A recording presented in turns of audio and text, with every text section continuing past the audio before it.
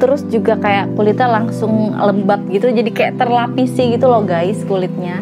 Ini buat kalian-kalian yang baru pengen nyobain yang namanya retinol usia-usia sekitar 17 tahun. Untuk harganya ya ampun ini retinol termasuk yang murah banget ya. Harganya 47.000 kan bisa beli di marketplace kecil Oh?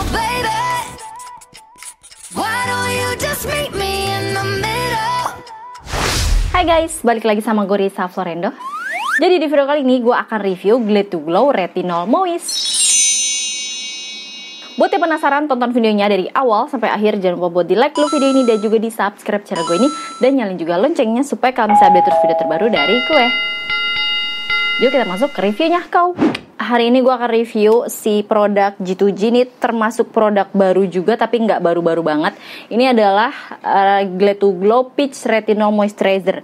Jadi dia retinol tapi dalam bentuk moisturizer gitu lah guys. Jadi buat yang belum tahu retinol itu sangat bagus untuk bisa membantu menunda tanda-tanda penuaan dini gitu ya guys.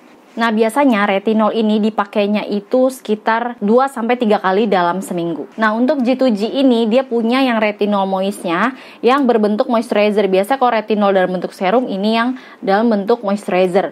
Nah, si retinol moisturizer ini packagingnya tuh lihat. Warnanya apa ini? Ini apa sih warna apa? Pink apa sih?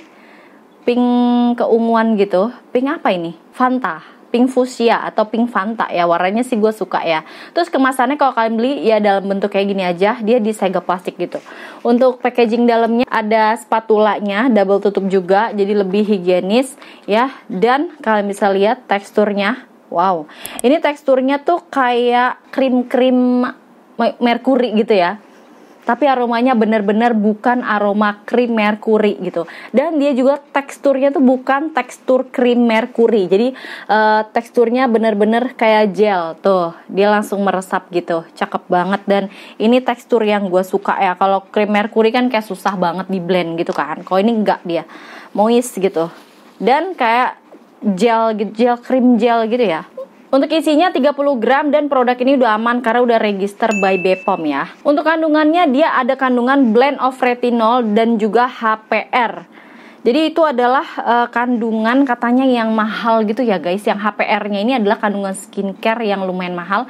Jadi dimasukin di mix sama blend of retinol gitu, di, di mix sama retinol. Dan dia juga ada niacinamide dan peach extract gitu. Jadi si retinol ini cocok buat kalian yang punya permasalahan kulit geradakan, punya permasalahan kulit berjerawat juga bisa. Terus kayak uh, tekstur kulit tidak merata, banyak flek hitam, pokoknya tanda-tanda penuaan yang muncul muncul di kulit wajah kalian. Karena dari ketiga kandungannya tadi dia itu bisa melawan tanda-tanda penuaan gitu loh guys. Dan niacinamide udah pasti bagus untuk mencerahkan kulit. Peach ekstraknya itu sebagai antioksidan dan juga bisa melembabkan kulit wajah. Ini gue udah olesin ke pipi ya, kan bisa lihat. Wow. Ini moist banget guys, beda banget sama krim merkuri ya. Tapi warnanya kenapa mirip?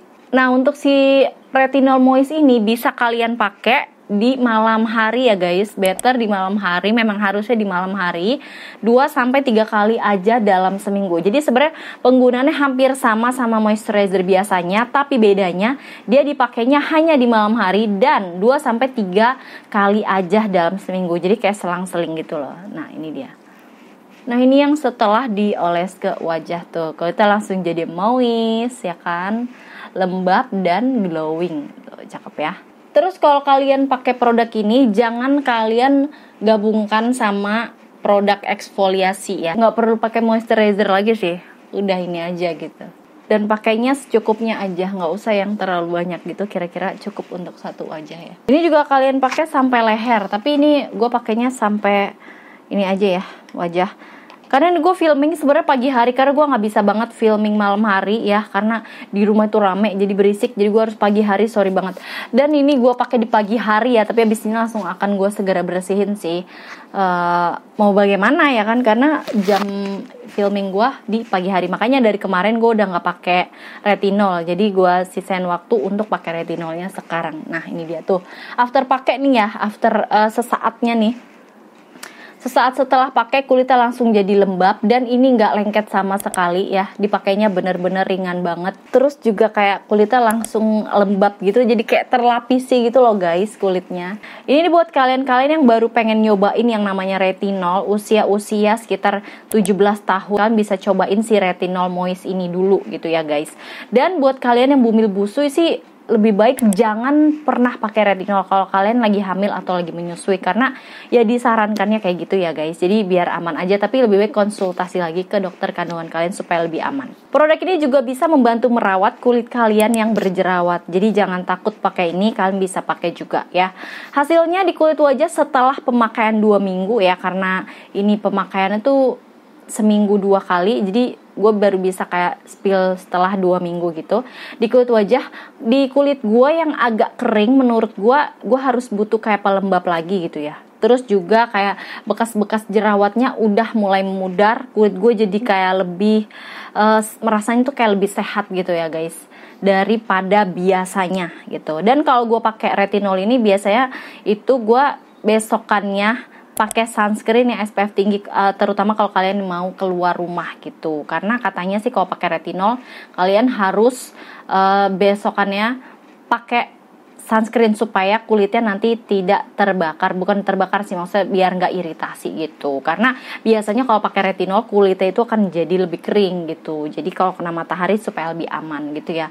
Tapi sih walaupun pakai retinol nggak retinol kalau sunscreen sih wajib ya harus wajib pakai gitu. Jadi nggak usah karena eh gue pakai retinol harus pakai sunscreen. Nggak perlu kayak gitu ya. Pokoknya uh, sunscreen tuh wajib dan reapply juga wajib gitu guys. Untuk aromanya menurut gue ini wangi peach ya. Jadi beda banget sama warnanya ya yang kita lihat kalau warna agak kuning-kuning gitu kayak bau krim-krim abal-abal gitu. Tapi ini bau peach yang enak dan seger terus juga nggak terlalu strong gitu. Jadi masih aman buat kalian yang kurang suka aroma-aroma di skincare gitu. Kalau gue sih jujur lebih suka kalau skincare yang ada aromanya gitu untuk harganya ya ampun ini retinol termasuk yang murah banget ya. Harganya 47.000 kalian bisa beli di marketplace kecintaan kalian.